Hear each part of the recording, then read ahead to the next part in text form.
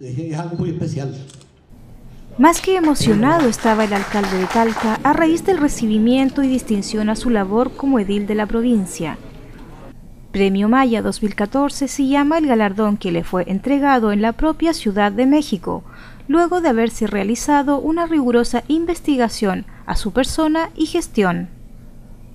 Es una tremenda satisfacción, es muy emocionante que un país como México tenga un instituto de evaluación a las autoridades de Iberoamérica y que me hayan invitado a mí a recibir este reconocimiento me llenó de satisfacción, de mucha emoción.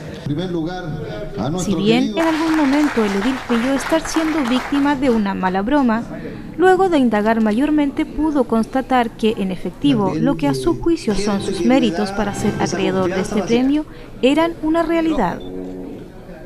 Mi gestión está basada mucho en el trabajo, en la, en la transparencia, en la honestidad, está basada en, en hacer de que esta ciudad de Talca cada día sea una mejor ciudad para que todos los vecinos y todos los niños y jóvenes y adultos se sientan orgullosos de la ciudad que tienen.